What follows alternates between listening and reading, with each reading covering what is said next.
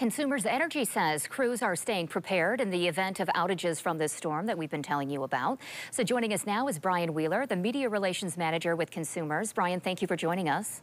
Thank you. So how are things looking right now across West Michigan from your perspective?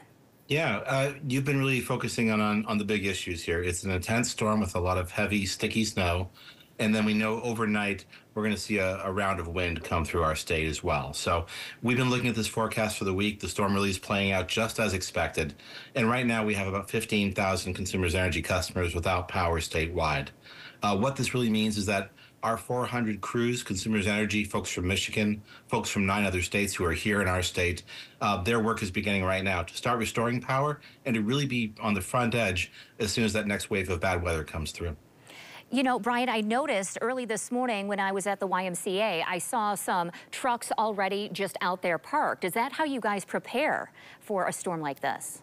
Yeah, you think about 400 crews, that means over a 1,000 people who do just the electric line work alone.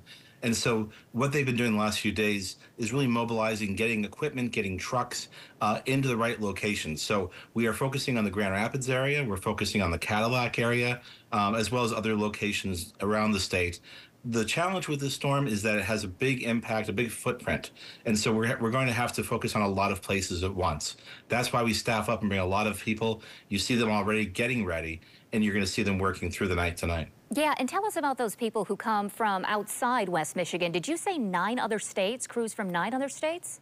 Yeah, we again looking at how severe this this weather was going to be and is right now.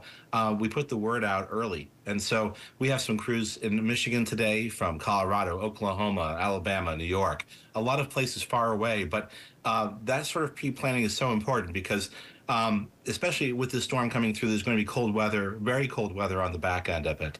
We know some people are going to lose power our job is to get that restoration going as fast as possible so that we can get as much heat on and lights on for people before the weather turns very cold.